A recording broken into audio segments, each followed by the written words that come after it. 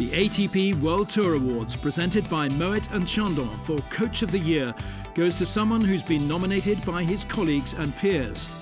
The ATP Coach of the Year is Marian Vajda.